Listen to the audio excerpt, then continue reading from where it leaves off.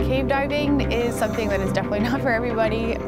It's really dark down there, and so you also maybe sometimes feel a little claustrophobic. When you're down there, you're not thinking about anything else. Like the entire rest of the world is on hold. You're hyper focused on what you're doing. You're just trying to figure out how you can get out of the cave without dying, essentially.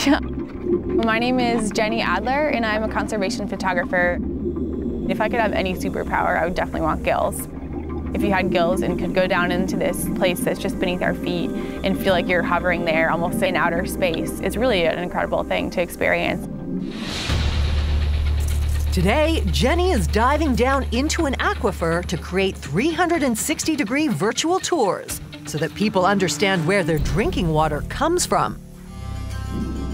Essentially, the way I describe what an aquifer is, it's like rock, but it's full of water. This rock is called limestone, and water as it falls actually goes down through the ground and ends up in this limestone, and that's what the aquifer is. It's this limestone rock underground that holds water. Florida has actually the highest density of freshwater springs in the world. When it rains, uh, the water can get back down through the ground and recharge the aquifer, and then it does come back up at more than 1,000 freshwater springs. Over the last couple of decades, the water has become polluted and levels have gone down. By creating virtual tours, Jenny wants people to feel a connection with these ecosystems and realize that protecting them is important.